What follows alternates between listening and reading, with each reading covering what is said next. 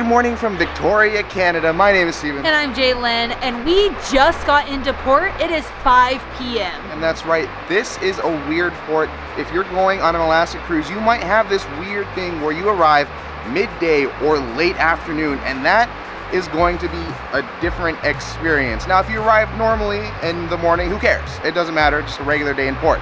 But this one, what do you even do at 5 o'clock? I mean, when are you supposed to have dinner? Are you to be at port? Are you to be on the ship?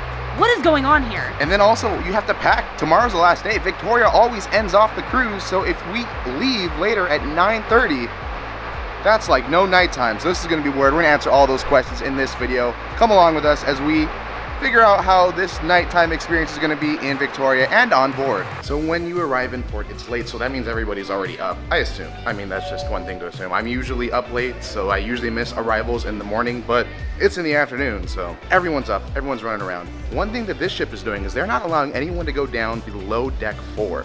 And that's mainly because of customs in Canada. Canada, I guess, is really strict with customs. Ahead of time, we had to fill out some customs and immigration forms for the Canadian officials, so that way they can go over it, and that's what they're doing right now. And though we arrived maybe a half an hour ago at 4.30, it's 5 right now, we still haven't gotten clearance. So everyone's rushing around, everyone's trying to get to their excursion, everyone's trying to get off, because, well, there's not that much time in Victoria. We're here, and we leave in four hours. That's such a short amount of time. You want to get off as soon as you can, and that customs and immigration stuff makes it even more of a mess. It's just a fun day. Just hours ago, this place was filled with a bunch of people trying to get the last minute deals because actually, shopping closes before you arrive at port. Once you arrive, that is when every store closes, and that means there's no more shopping because they won't reopen after we leave. So this is kind of a weird thing. Gotta get your shopping in done before the evening. I usually like shopping on the last night. That's not an option today. So, bummer. Also, we're not going to go down there, but there is the casino. The casino did close at 2.30 today because uh, we came into Canada's area, meaning there's no more gambling allowed. So everyone's kind of gathering, waiting to go to port down there, so we're not going to really disturb them. But casino, if you want to play the last night, not really an option because you're kind of in internet. You're not in international waters on the last day. You're actually in U.S. and Canadian territory from Victoria to Seattle. Bye. Have fun. See you next year. See you next year. Might not come back. Oh, yeah, that's true. Alrighty, we've made it to the theater, and we are gonna go check in for our shore excursion. We're gonna be doing a walking tour. Uh, we'll talk. Actually, no, we're gonna insert right now.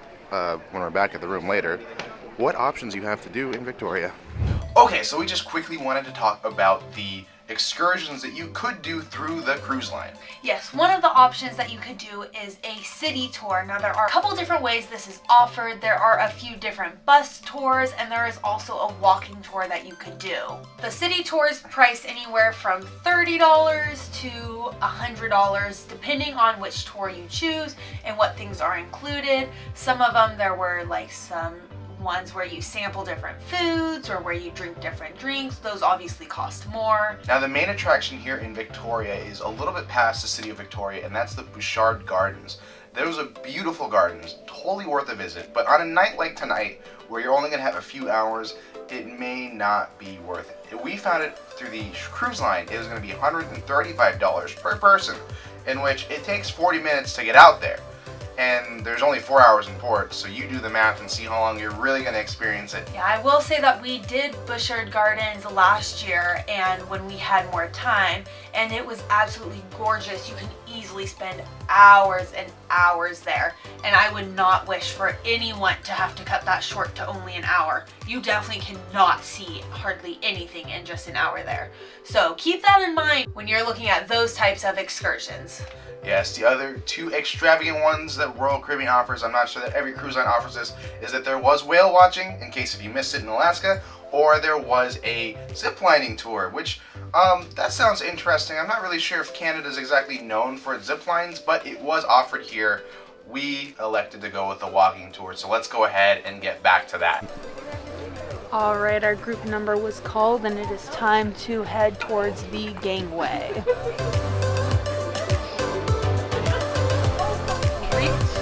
We'll see you later, Quantum. We'll be back on board in a few hours, hopefully.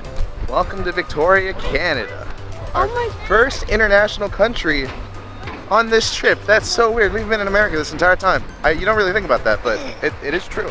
Alaska is the same country as where you leave when you leave out of Seattle. Now, this was the first ever port that I had gone to in Canada. The first time I had ever been to Canada was here. And now I've been to Canada a lot of times. Wow, Quantum, still standing tall. Can't believe we were just on that ship. Now to come to Canada. I mean Canada. I mean and. Whoa. A little windy today. A little windy, but not cold. Welcome to Canada!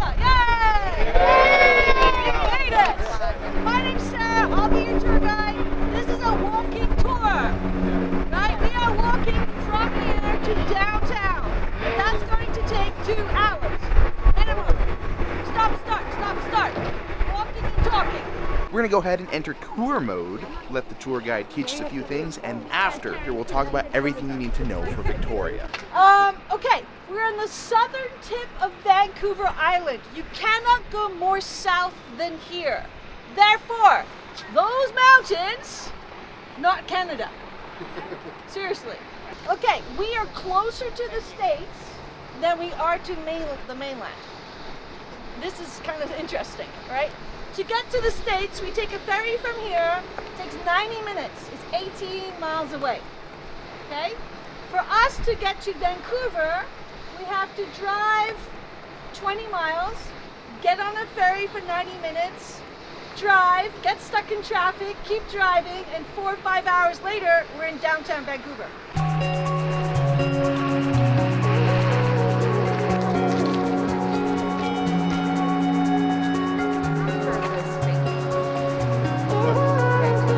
First stop, Fisherman's Wharf. Only a 10 minute walk to here. How many of you been to San Francisco? Fisherman's Wharf there. A few. Okay, I am biased. However, this is prettier, less seagulls, doesn't smell as bad, right? No sea lions. We have some commercial fishing, pleasure boats, restaurants, and then a bit further we have the float homes. So I'm going to be showing you those. These are residential homes, float homes, right? What do float homes not pay? Property tax, they're not on land, right? But they have to pay for the sewage, for the water, and for the electricity to be moored up, right? Tied up. So that's about 700 Canadian a month. Is that a good deal? Eh. This is a busy waterway. This is the a gorge. This is not a river. So the ocean is coming up. Right? It looks nice. However, because this is open to the Pacific, sometimes we get those black and white large mammals swimming up here, chasing their dinner, which is seal. Right? So the orcas can swim up here. And what happens when they do? Shut down. Silencio. No planes, no boats, no traffic, no nothing. Because we need it quiet for those whales to figure out how to get back into the ocean. Right?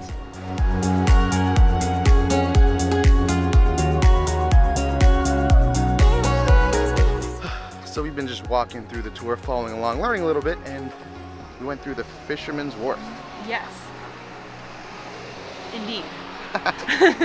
Our tour guide has taught us that one way to get from downtown to the port, it's a little bit of a walk, but you could do a water taxi, take it from downtown near the Empress, walk all the way over, take the taxi all the way down to the Fisherman's Wharf, and the Fisherman's Wharf was maybe what, maybe a five, ten minute walk at mm-hmm. most. So it's a really quick walk, and you hop on the water taxi and take it there or back, depending on how you're going, and that takes you to downtown. We'll get to downtown eventually, but we're just trying to find alternatives for you to get to and from locations because there seems to be a lot of different transportation options here in Victoria.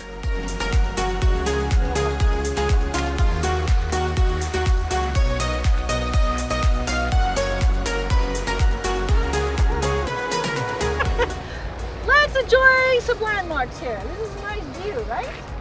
I'm going to explain what we're looking at. The domed building with the green roof. That is what? What do you think? We don't say capital, we say mm, it's our provincial government building. So that's our legislature. Our legislature building. The big brown building with the Canadian flag behind the coho. The Empress Hotel. Quite nice. We're gonna go in front of that. That was built. So legislature built 1896. Empress Hotel built 1908. quite majestic looking, right?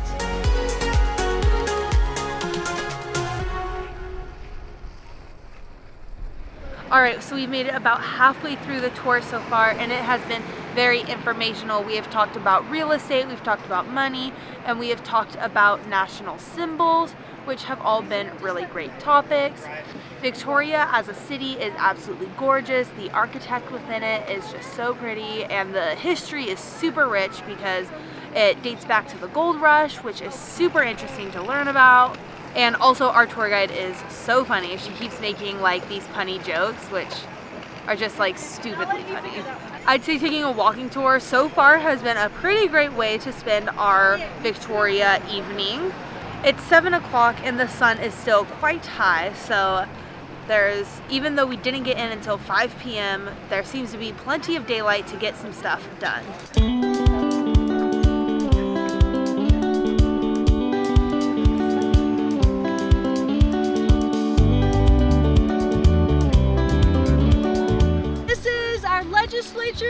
Provincial government building built 1896, right? This city is named after the Queen. Therefore, we want a building that's majestic, that's royal, that looks impressive, and hopefully to keep the American South, as we say, yeah, we know what we're doing, right? The domed green originally was which color? What's it made out of? Copper, right? Copper changes with time, oxygen, oxidized copper.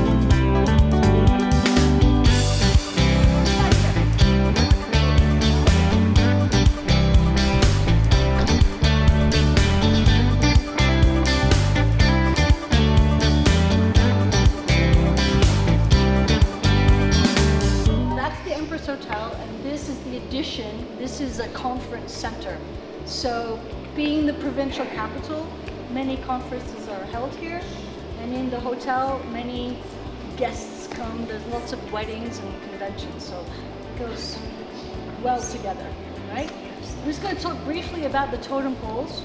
Who saw them in Alaska? Yeah? Okay, so briefly, um, normally what type of wood or tree is it made from? Cedar, Cedar, right? Cedar because the grain is fairly straight, so it's easier to carve. There are lots of cedar trees on the northwest coast, and it rots from the inside out, right?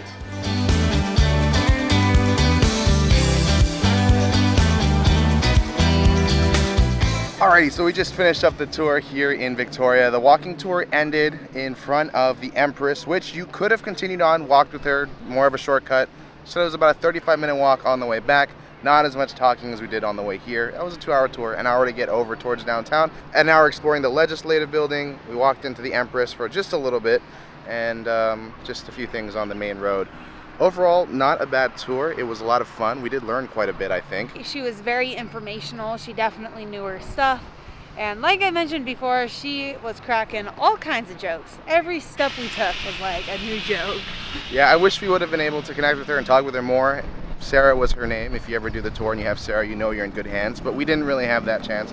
There's just so many people in the group, and we were so busy focused on one, trying to learn everything she had to say, and two, trying to capture all the footage so that way you have an idea of what's going on.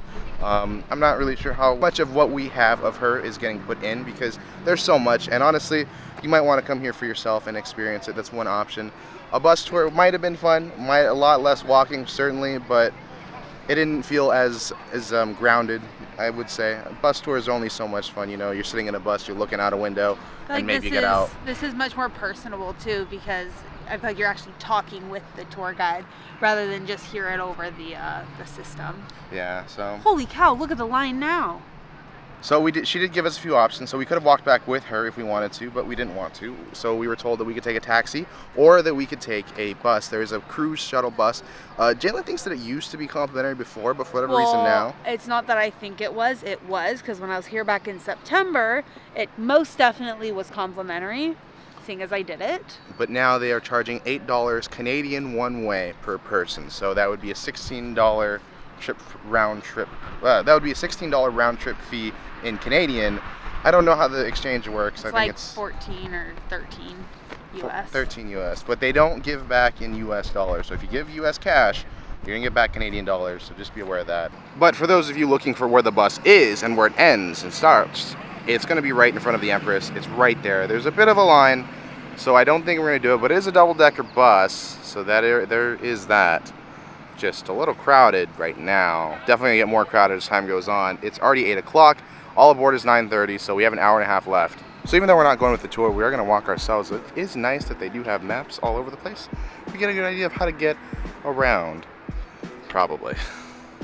Uh, just really quickly wanted to mention, if you were coming to Victoria, you could do a tour like we did, or you could go off on your own, which I think would be totally acceptable, as long as you took transportation and you kind of have an idea of where you're going. That downtown area is kind of cool. The Empress and the Legislative Building are places that you can visit. I think you uh, you are supposed to be able to go into the Legislative Building, but right now, I'm not sure if you can go that late. so according to Google Maps, it's a 20 minute walk. Our tour guide said it would be a 30, 35 minute walk and she was gonna take a shortcut. I think that's because maybe she was gonna stop a little bit. That has to be, or maybe she's just being very generous in how long it's gonna take. Yeah, I do know that looking at the map, we went around along the harbor, uh, along the water, and now we're gonna be cutting straight through. So we're not gonna get the water view, but we're gonna save a lot of time.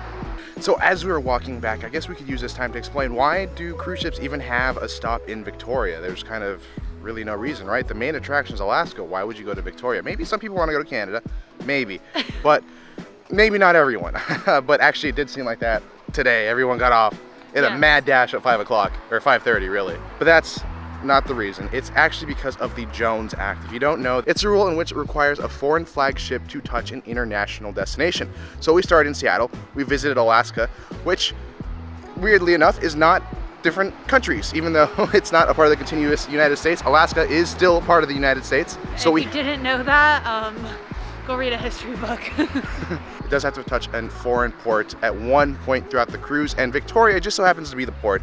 Uh, it's really one of the closest ports to Seattle. In fact, it's so close that when we leave today, we're gonna go the opposite direction of Seattle and then come back towards Seattle because they're just so close together that we just need to kill so much more time so that's what we're gonna be doing tonight. So it's all because of a technicality that we needed to visit Victoria, Canada, in which I like Canada, but this short amount of time I don't think is enough to really enjoy it at all. Four hours, terrible, because if you think about it, one of those hours you have to spend getting back on board because you don't ever want to be the last one on board. You want to get back at least an hour ahead just to be safe. Getting trapped in an international port is terrible. That's not a good idea. So you want to get back on time. That's why it's shoehorned in. It, like such a terrible hour, such a terrible time. Multiple cruises do it, not just Quantum of the Seas, multiple ships from different cruise lines all over the place. Some are better. They actually visit in the morning and stay throughout the afternoon. It's nice. This is not one of those. And that's probably why you're watching this video, trying to figure out what are you gonna even do in Victoria and I hope we've kind of given you some idea of what and why you have to plan things the way they are. Okay, so as we're walking back, obviously we are not Canada residents. We don't really know where the heck we're going. We do happen to have service though, not because we live in Canada, but because we live in the US and our carrier does offer service in Canada and also Mexico as well. Um, we have Verizon Wireless, and I believe most plans with Verizon do offer this where you can go to the foreign country, only those two countries that is, and you could have full service with talk and text and up to a certain amount of data. I think it's half a gig. I'm not sure what other carriers do. Please do research ahead of time. Don't automatically go to Canada and start racking up a phone bill. But I can safely say that our service, our plan allows us to go look things up in Canada and use the GPS because it honestly is quite helpful. We have made it back to civilization, or our ship is what I mean to say. Not that bad of a walk, only 20 minutes. Yeah, it really was not as bad as she made it seem. And it goes a lot faster when you're not stopping every five seconds. Though that is what we paid for on the tour. I will say that is one thing. True. Very, very true. As far as the tour is concerned, it is pretty doable for youngins because there was quite a few kids of the younger variety on our tour, though they did not all walk back. Their parents decided to take transportation. They even aged back to like less than a year old. So the closer we get, the more reality checks in. Uh, this is kind of what we expected, but this is a lot worse. I did not expect this. No, I did not. Uh, we're gonna have a long line to get back on board because it is already 8:30. Even though we were gone for two and a half hours, uh, everyone's going to be trying to get back on right now because there's only four hours total to be out. it's going further and further and further and further and further back, all the way around the flippin' gift shop. Why? And it's not even moving. Unless you want to see Canada, don't get off the ship. this is not worth it. I heard a little bit about why the line was holed up in the gift shop. Pardon me for the not understanding what they said slash hearing five words and making my own story out of it. Someone tried to uh, get on. There was some kind of issue. A bunch of cops came.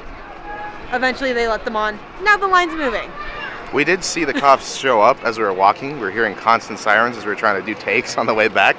But I guess that's probably why. Maybe the line isn't always this bad. Yeah, so honestly, I think that someone was trying to bring something or lost their key card or I don't know, something. Had some kind of holdup that involved cops. But now we're moving just fine, so honestly, yeah, come to come to Victoria if you want. Don't let this line scare you because it should be non-existent. There are definitely some chefs sitting up on the railing over there, and they're sitting there thinking, man, this is why the dining room's empty. Because everyone's stuck in line here. Alright, we made it through not that long. Honestly, there was just a holdup at the gate. They let us in though. We're all good. We're ready to get on through security, which is probably going to be the longer line. It is now currently 8.40 is the update. Are we gonna make it to the dining room in time? Or did Victoria mess up our dining plans and are we gonna go starving? Check back soon to find out. So we're back on board. Don't click away yet because we're going to talk about the dining situation, which I think is a completely different nightmare. But we'll get to that in a moment. We're going to talk really quickly. Closing remarks about Victoria. Did we have fun? Did we enjoy it? Yes, we did. But I don't think we enjoyed it enough. There just was not enough time. That was such a weird visit to Victoria. I mean, we know why, we know how, and whatnot. But this, So, was it worth it to get off? I mean, it could be if you've never been, or if you're really excited about it, or if there's something specific you want to do. But is it something that's like a, I have to go here? Mm, Maybe if it was a longer amount of time, but for just a short amount of time, maybe get off the ship and take a picture with the Welcome to Canada sign and turn around and get right back on. That's Yeah. what I would have done. we don't want to discourage exploring new places because we love finding new places to go and learning new things. But this one, in this scenario, maybe not. It's a little tough. The headache to get on and off is a mess because it is a long line to get off. And of course, with a short amount of time, it does not give a lot of time for people to return. So there's a long line to get back on board. Though we got back on board within about 20 minutes, it's still It could have been worse. It if still we were the worse. people who were actually stuck in the the wait when everything was held up, that would have been that would suck because then we'd be standing there for who even knows how long. And I want to really give a big shout out to security and everyone working here on board, trying to really rush the uh, process to get through everyone. They actually went so quick once we got inside. They were going. They had That's the four fastest I've lines ever- open, and we were in the front. They have a second gangway open in the back, which I'm sure has even more or just as much. So really efficient, really quick. I'm really, really impressed with how well Royal Caribbean did, and I think they know that because of how short time is that they need to be quick. When we got back on board, we had some maitre d's actually letting us know that dinner is still open, the main dining room is still open, Windjammer is still open, and, uh, and the Solarium Bistro is never- still open. we've never been to the Solarium Bistro, but we're still not going, unfortunately. It's a free included place, but they've been trying to push everyone to the Solarium Bistro all cruise long. Yeah, it seems not to be very popular. So It's supposed to be a buffet style thing, but that's for another time. yeah, maybe if we come back on another similar ship, we'll go there. But for now, it's dinner time. Welcome back to American Icon for the final night. I'd like to tell you a very important information. When? What is it? That's the information, you know. Good evening, ladies and gentlemen. If I may have your attention, please. On behalf of our food and beverage director, our award-winning executive chef, We have made it back to the cabin from dinner. We decided to not vlog it fully because I think more people are interested about what we have to say about what's going on board than what's going on is our opinions on the last menu for the day. One thing, uh, we have already left. It is pitch black, not because the screen's broken today, but because it's actually just dark outside. It's kind of weird. Also, it's not late enough to be dark out yet because we're so got so used to Alaska where it's literally bright until 11 o'clock. That was kind of trippy when at dinner it was starting to get dark and we were like, what? So typically we have dinner at 7.30, but because we have my time, we were able to select a different time for tonight's dinner, and that was useful since we got back so late. We would not have made 7.30. Uh, in fact, we wouldn't have made anywhere from 5 all the way until 9. So we had 9 o'clock, which is the latest possible time, but we did see people getting accepted at 9.30. Which was nice to know because, I mean, you saw the lines that we were stuck in outside. It was insane. People were getting on much later than they expected to. So I was really considerate of dining to allow them to come in and still be able to eat and not be like, no, you get no food.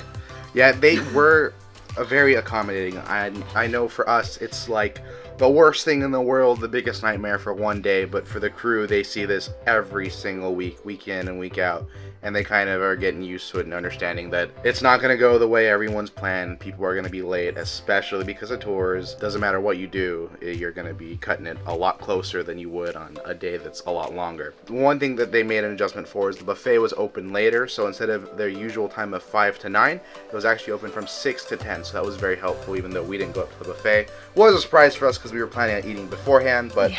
it is what it is. And they know that they can't send 4,900 people to the pizza place because all the dining options are closed. Yeah, that'd be a complete nightmare. Oh my god, could you imagine? I'm Uh. just envisioning it. Thankfully, we actually were smart and we packed ahead of time, so it's just finishing up packing. Now, here's the other thing. Packing, you're supposed to get your luggage out by 10 o'clock, the night ahead. We didn't even get back on the ship until almost 9 o'clock. Yeah. So how the heck are we supposed to be able to finish packing by 10? Let me take a step back. The way luggage works on board is there's two options. One, you could self-assist your luggage out, meaning you take your luggage out on your own. Or two, you do the traditional style of luggage in which you put your luggage out the night before and you will reunite with it back in the terminal the next day. So that way you don't have to deal with it during breakfast and disembarkation and it's just a pain because you're trying to get through the ship with all your luggage and up and down the stairs with all your luggage. Yeah, they will give you a luggage tag with a number. They've given that to us already. We have a airport transfer through Royal Caribbean, so we'll be taking their bus. That's why we have an earlier number. We got two. So that's all going to be taken care of, and hopefully things will go smooth tomorrow morning. We'll end this video tomorrow morning once we're off and on our way to the airport and home. I'm not ready to go home yet. So those are your two options for luggage. Now, you're supposed to put your luggage out by 10 o'clock, like I said, but because of the late day, they really are going to understand. They know. So if you're later by an hour, maybe two hours, It's already almost 11 and the the hallway's still lined with luggage. Like they haven't even started to take it. yeah. So they're gonna they they know that people are gonna be late on a day like today. It's just so weird. One cruise on every cruise, there are always gonna be people who put out their luggage later than 10. But this tonight is gonna be even worse, and it's so nice to know that they just they're ready for it. They're they're understanding. So we'll get the luggage out as soon as we can. We're gonna finish up packing, but make sure if you're doing this, pack before you land in Victoria. Usually people leave it till after dinner or like the last hours before the luggage is due. This one's a little bit different. You're not gonna be able to do that. You have to get packing earlier. Which we actually did do. You guys should be proud of us. Normally we wait until after dinner. Today, we actually took the time during the day to pack. I don't know about you, but I'm pretty proud of us. All right, only an hour later, and we have all our luggage ready to go. Everything's tagged. Group number two. We'll see you tomorrow, and we'll also see you tomorrow morning. Say goodbye, Jalen. Bye, I'm sleeping out here tonight. It's the next morning, and now it is time to get off the ship. Our luggage tag number has been called, so that means we are gonna go get off and meet our luggage back in the terminal. Goodbye, interior virtual cabin. We'll maybe see you next time. The chaos of getting off.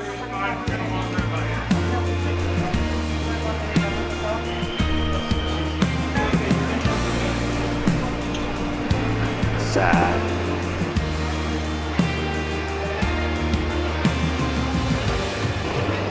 So immediately we got out, we got our luggage, and everything was really quick, not that bad. Good job, Seattle. We, Yeah, uh, I was utterly impressed. We have been thrown into the line for the shuttle. I'm sorry. We have been thrown in line for the airport transfer, so we're on our way. And I guess we'll be in the airport real soon. There seems that they have a lot of buses, so you shouldn't have an issue if you get off a little late, maybe.